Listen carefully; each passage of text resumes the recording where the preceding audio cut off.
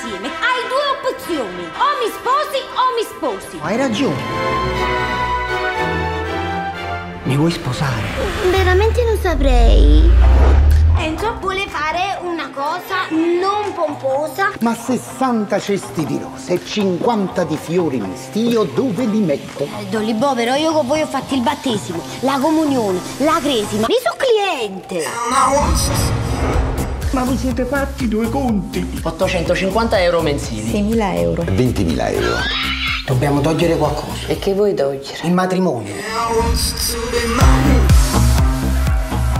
100 euro, neanche i soldi delle mance dei camerieri. Che quant'è? 200 euro. Sei di loro 200 euro.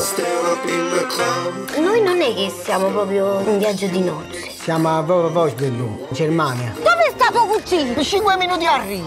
Tu sei la sposina. È logico che posso mai essere? Che siamo qua da 5-6 ore aspettanti come due uomini sfortunati. Ma si che?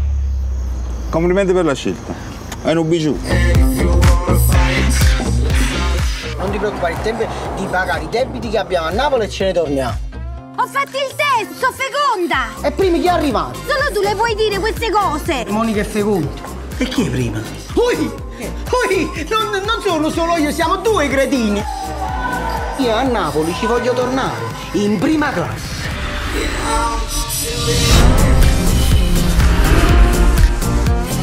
Lui è il nostro amico, è tunisino. La birra, Non lo so eh, se c'hanno una birra. la birra. Ancora, ma che camminiamo con le birre nella tasca? La birra o no, mo va giù, ma sta a posto. Ma tunisino la do forcella. Ma perché care? Ragazzi, qui ci si deve portare avanti, eh? E quindi pensiamo già agli Oscar 2018. Eccovi quindi la lista dei ben 14 film di casa nostra che si candidano per contendersi il posto di rappresentante italiano ai prossimi Academy Awards. E sono A Ciambra di Jonas Ash Carpignano, Cuori puri di Roberto De Paulis, L'equilibrio di Vincenzo Marra, Una famiglia di Sebastiano Riso, Fortunata di Sergio Castellitto, Gatta Cenerentola di Alessandro Rack, Ivan Cappiello, Marino Guarnieri e Dario Sansone, Ho amici in paradiso di Fabrizio Maria Cortese, L'ora legale di Salvatore Ficarra e Valentino Piccone, L'ordine delle cose di Andrea Segre, Sicilian Ghost Story di Antonio Piazza e Fabio Grassadogna, la stoffa dei sogni di Gianfranco Cabiddu, La tenerezza di Gianni Amelio, Tutto quello che vuoi di Francesco Bruni e La vita in comune di Edoardo Winspear. La sorpresa direi che è sicuramente la commedia di Ficarra e Piccone, mentre al momento i favoriti sono il film di Amelio, Castellitto e la pellicola animata Gatta Cenerentola. Voi cosa ne pensate? Credete che manchi un film candidato davvero forte oppure vi sembra che questi possano riservare delle sorprese?